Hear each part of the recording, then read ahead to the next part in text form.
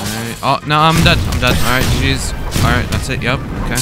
I'm half a bar now. I'm pretty sure we can all agree that flame builds are absolutely broken and like super annoying to go against. And especially when you have to go against um, Blazing, Azure Flame, Exploding More Than Detonation build. Like, I can. I'm gonna quickly tell you guys how this guy made this build. Talent, stats, and all that other shit. Alright, so this man can detonate me three times in like the same three seconds. And how he does that is that he has all the flame talents that makes it punishing. He has a Blazing Enchant, Final Act talent, and Explosive Flourish. He has no attunement talents like Bulldozer and Spine Cutter, which absolutely dominates this build. It makes it so good. Sadly though, it does have huge flaws since his build is kind of old. He didn't take Warding Radiance, and sadly he didn't get any Charisma. These are his updated stats that he's gonna go for, which is probably gonna be the best flame build right now. Not gonna lie. 95 medium because there's just no space and the scaling won't be too bad. So yeah, I uh, hope you guys enjoyed the video. Please make sure to like and subscribe and peace.